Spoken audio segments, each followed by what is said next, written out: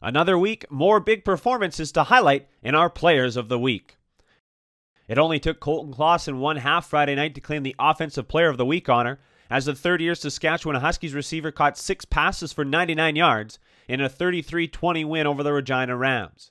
Two of Klassen's receptions were touchdowns, as the Saskatoon native hauled in majors of 14 and 12 yards in the opening 30 minutes.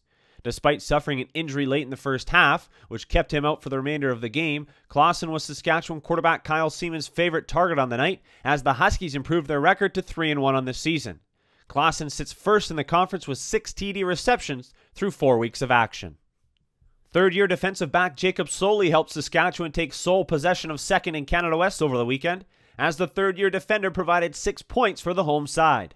With the Huskies already leading 14 3 late in the first half, Soley added six more to the total as he picked off Regina quarterback Noah Picton, running the interception back 64 yards for a major.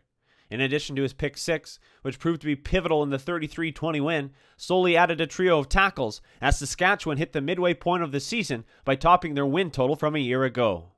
For the second time in three weeks, Manitoba Bison return man Marcel Arruda Welsh is the Canada West Special Teams Player of the Week as the Bisons earned a 37 27 win over the Alberta Golden Bears Friday in Edmonton. The second year player combined for nearly 200 return yards as he posted 82 yards on four kickoff returns, along with 114 yards on five punt returns.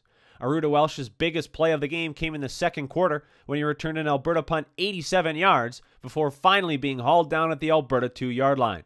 The Bisons would find the end zone just moments later. Arruda Welsh's special teams honor marks the third consecutive week a Bison has claimed the conference award.